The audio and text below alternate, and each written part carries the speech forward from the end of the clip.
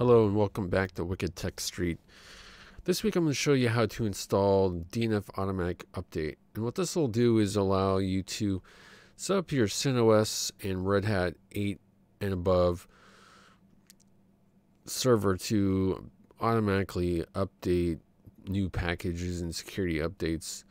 Um, specifically for this week, I'm going to show you how to just have it update all the packages, but you can also set it up to just do the security updates if that's what you choose to do so, um, which is probably recommended for prod systems, but in, in our case, we're just doing this as a home enthusiast or for our own personal use. So without further ado, let's get started.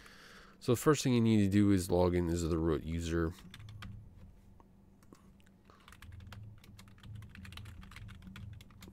And then the other thing we need to do is install DNF automatic.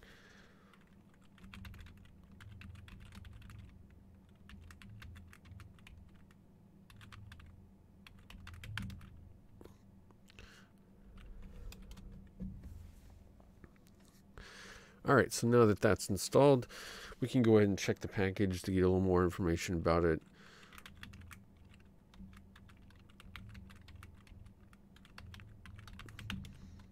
And then this kind of gives you the some additional information about it if you care. Uh, so then the next thing we need to do is we need to make some changes to the automatic.conf file for DNF which is located in etc dnf and then it's a file called automatic.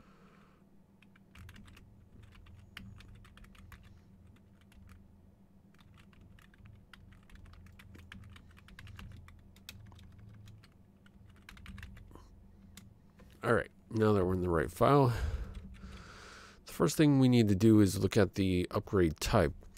Now currently it's set to default which will update all available packages. So that's how we're going to leave that. Um, if you wanted to do just security updates, then you would just change it to this line right here. You would to the upgrade type, you would change it to security.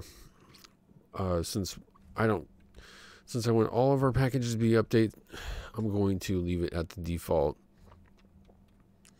And then we need to go down to to the apply type. Now this is asking whether we want to have it just download the packages and not apply them, which is um, definitely an option. You can have it download them and then have have it notify you that the packages were downloaded and you can install them manually. In this case, I'm going to go ahead and set this to yes so that once they're downloaded, it will apply the package or it will install the packages.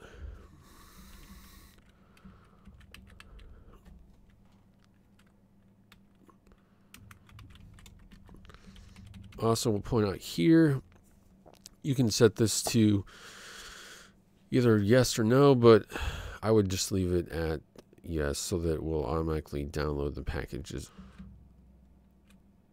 And then down here, we want to set this to the host name if you're not sure what your host name is, um, I can. in my case, mine is Plex. As you can see here at the bottom where it says next to the at symbol, it says Plex. If you don't know, you can also type host name and it will also give you the name of your server. So as you can see there, mine is Plex 2.local domain.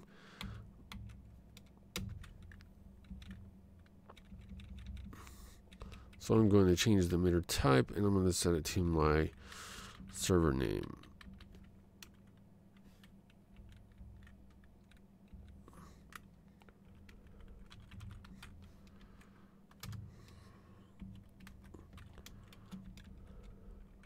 Whoops, I wasn't done yet. All right, so we've now that we've set that to Plex 2, we need to go down to the emitter via section.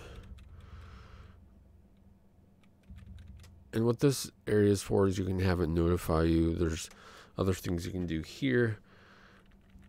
In my case, we're going to set this to mod tab.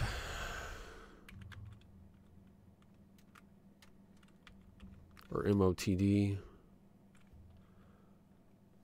And what this will do is whenever you log in, it'll send a message to let you notify you of the updates that took place.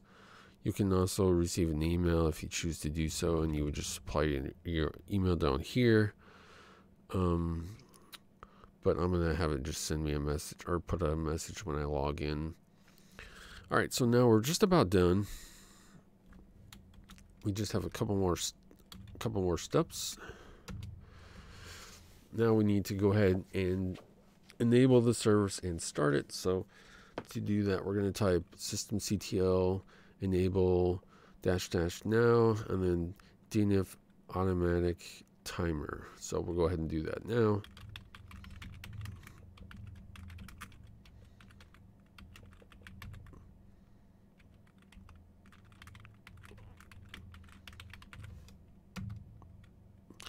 And that will go ahead and enable it and make sure it's started.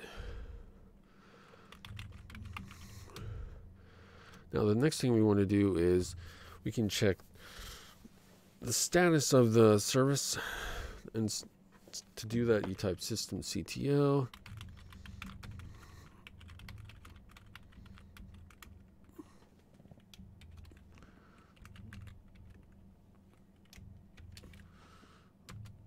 and that will give us the different timers that are running. And that's it for now. That should, uh, it will download the packages and it will automatically install them for you. Thanks for watching, like and subscribe.